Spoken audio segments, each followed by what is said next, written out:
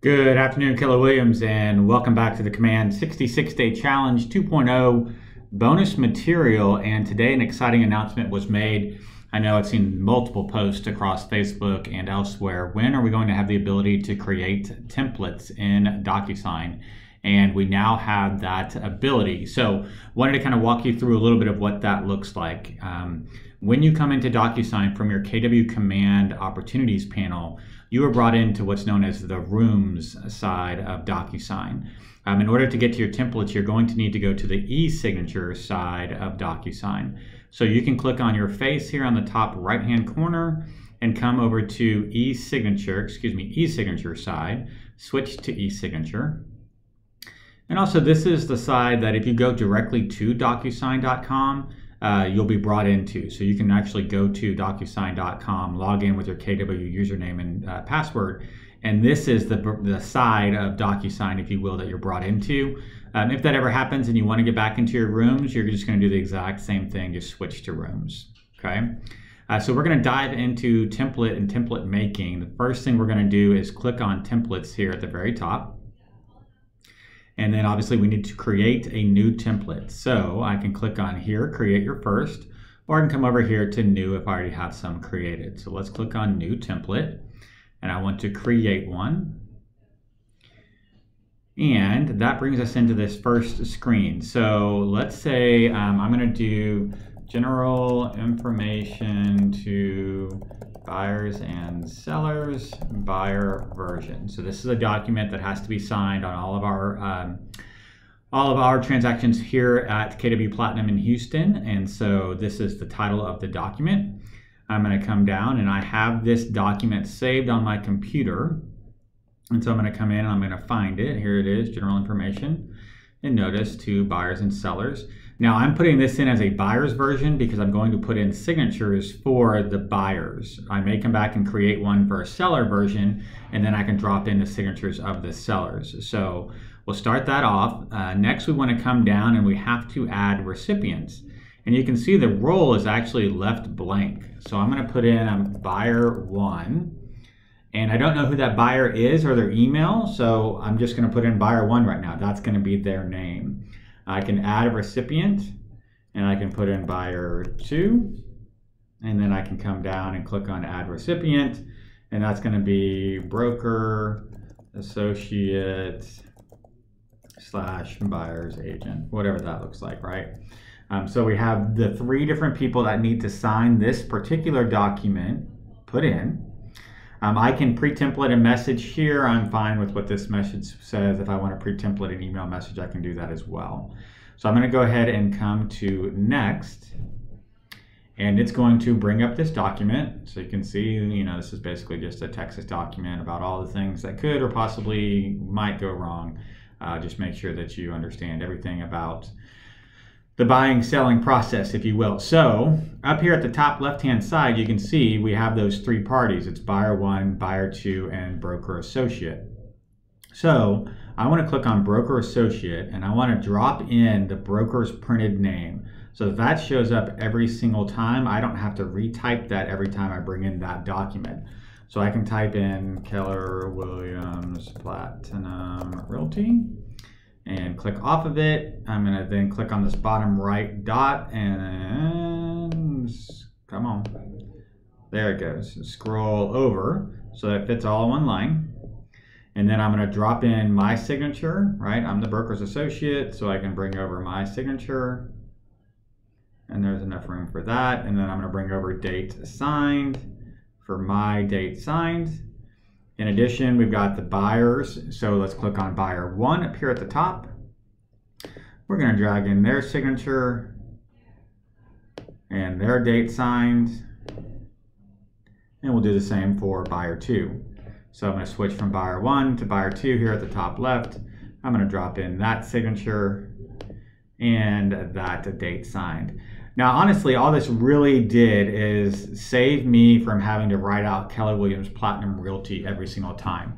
So in this particular document, it's not a huge time save, and yet, you know, every minute counts. However, I'll show you the next one we're going to do is a document with a few more blanks that we can auto-populate automatically and save us even more time.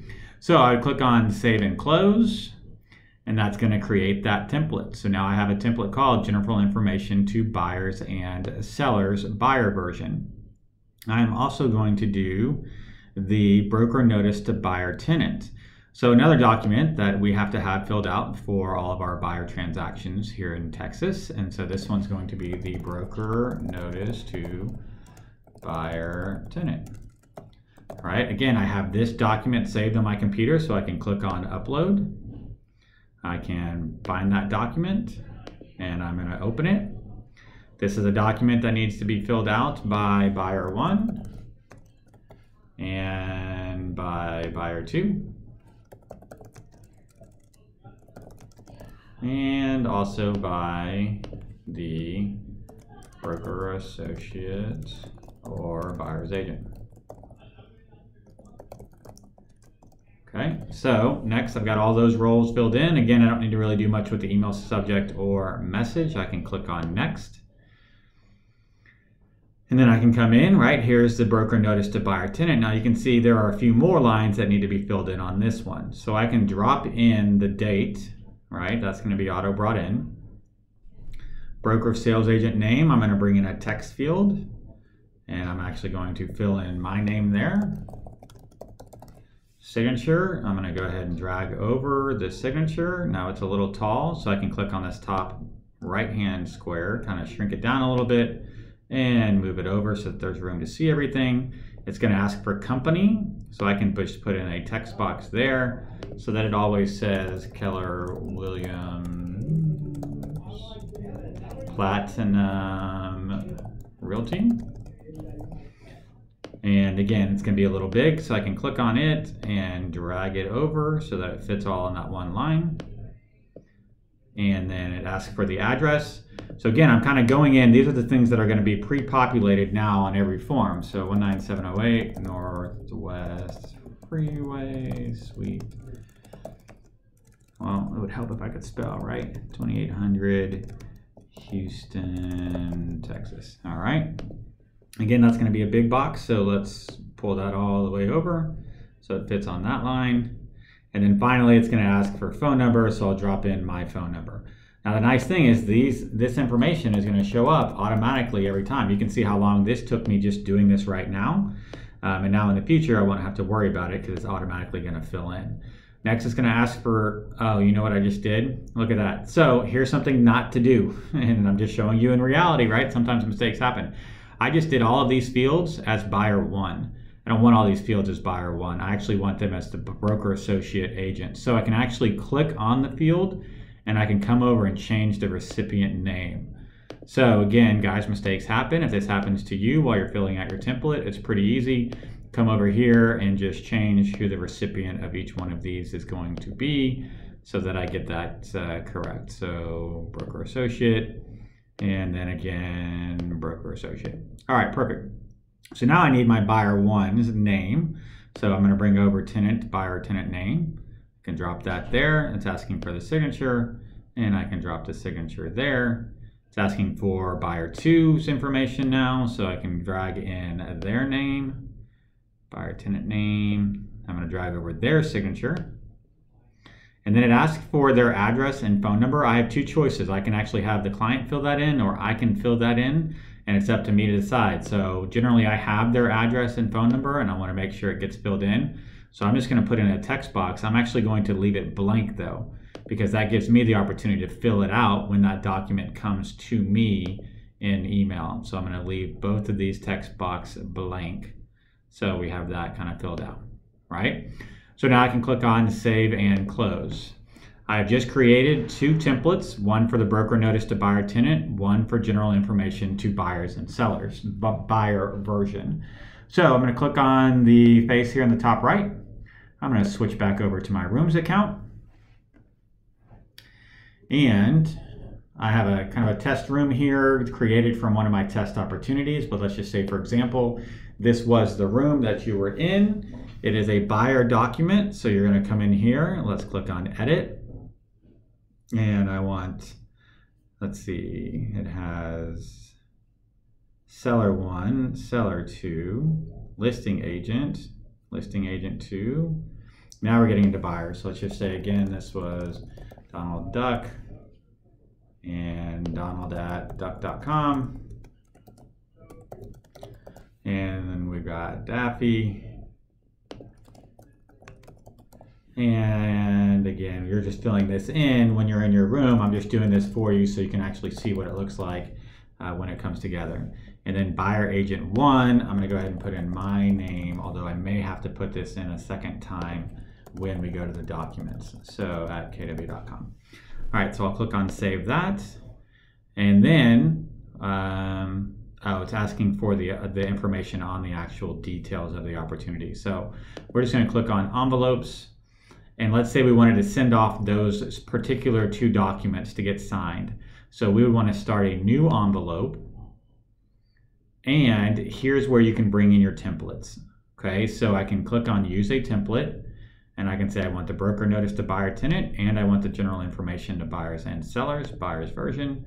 I add those two and you'll see it's going to bring in those two templates into my envelope. I can title this envelope however I want. I'm going to add the recipients pre-tagged roles. And now you can see broker associate and my name is available for recipients. And then I've got buyer one.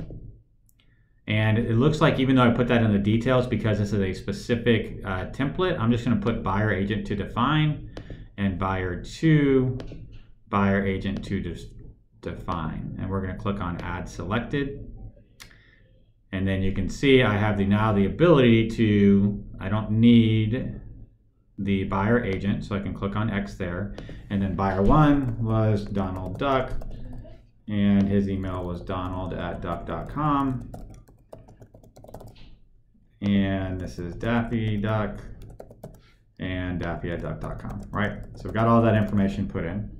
Now the next step, and we'll see the work that pays off, we're gonna get into those documents and you'll see the pre-templated information that we have already put in should show up as long as we did our templates correct. So now you can see here is that information, general information to notice to buyers and sellers. We come down to the bottom. Typically I would have had to write in Keller Williams Platinum Realty. That's already put in there. I've already assigned my signature and date because you can see my information here. Donald is already assigned to buyer one and Daffy is already assigned to buyer two. Same thing when we come down to broker notice. Here's the date signed. All of this information is already filled out for me. And you can see because these two last boxes are assigned to me, I can come in, I can actually add their text, right? Because I might not have known their address and because their address is gonna change from client to client, you can't actually fill this in, you know, I don't know, Quack, Florida, whatever. Um, you can't fill this out in advance. So I could drop that in, that information is now filled in and I could put in their phone number and boom, I have that field populated as well. And I can click on send. It's going to send it off. It'll send it to me for a signature for broker sales associate. It'll send it to Donald for his signature and Daffy for her signatures. And the thing is, I didn't have to type all of this in myself. Now, again, this is a, just three lines of text you can imagine as you continue to build out your templates, many of us have documents where um, you know there may be three, four, 10, 12 different lines that need to be pre-populated with the same information every time. And that'll help us on building out templates. So obviously not necessarily required, but just now an option available for you uh, within DocuSign. KW Command has released the ability for agents to create their templates. So Hopefully that is helpful. Um, I'm still learning more about how it's going to impact my personal business, and I hope it impacts yours as well. And as always, I will look forward to speaking with you in the future. Thanks so much.